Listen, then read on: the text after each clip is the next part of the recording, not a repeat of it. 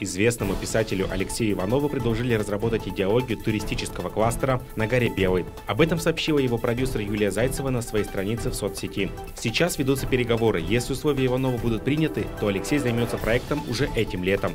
Эта территория – квинтэссенция темы горнозаводской цивилизации, над которой Иванов работает уже 20 лет. Эту территорию мы давно считаем супер привлекательной для туристов. Натура и история к этому явно располагают. Если прибавить инфраструктуру, получится новая уральская Мекка.